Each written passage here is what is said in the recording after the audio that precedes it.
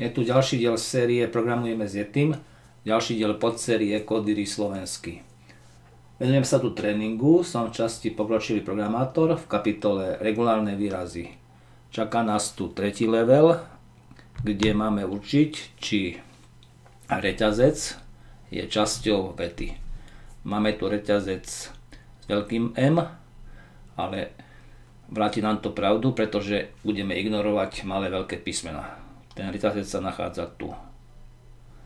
Tu hľadáme tento reťazec, ten sa nenachádza celý, iba jeho časť. No a tieto reťazce sú zhodné, takže návratová hodnota je pravda. Máme použiť regulárny výraz a metódu test. Máme toto dokonca pripravené. Tu máme anglický názov, ktorý používajú regular expression. Ja používam RV, regulárny výraz. No a teraz nesmieme sa pomýliť. Tú metódu test použijeme na ten regulárny výraz, nie na vetu.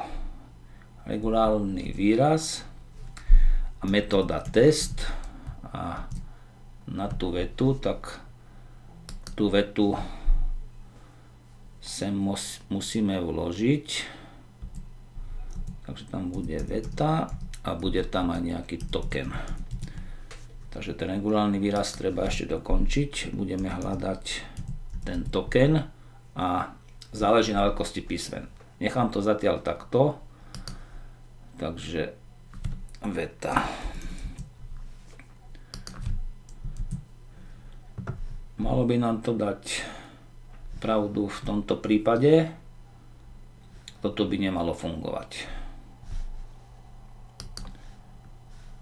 Presne tak, ten prvý prípad nefunguje. Musíme tam pridať ten príznak i, že nám nezáleží na veľkosti písmen. A teraz je to už v poriadku. Ešte